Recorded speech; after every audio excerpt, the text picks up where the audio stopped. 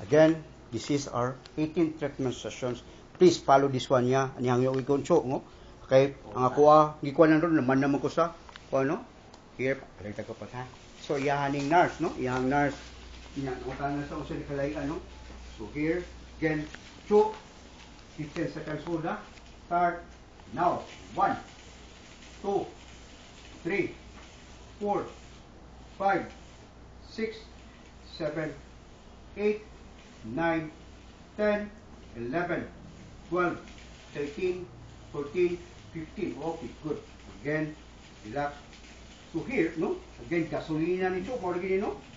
Again, ako lang gasolina para ma-understand si mong brain, no? Nga, you have to refuel it ug ang il daily kamo mo twice a week lang mo. Katong mo ato din twice a week. Ah, ni kay mas light mo, di mo ma-fracture. Kaya what is ang experience in Philippine Orthopedic Center ng mga public, sus ang mamatsan yun. Fracture. Kaya di ko na mo recover kung dugay na. But I oppose it with Arwin ergometer.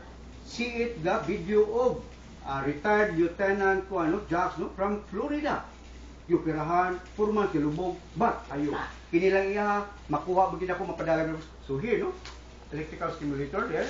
Oh? Oh? Sa una, di gini mo mo gini one year and two months treated. But why, no? But why? Again, niya narba ko kupitin sa Hero Hero.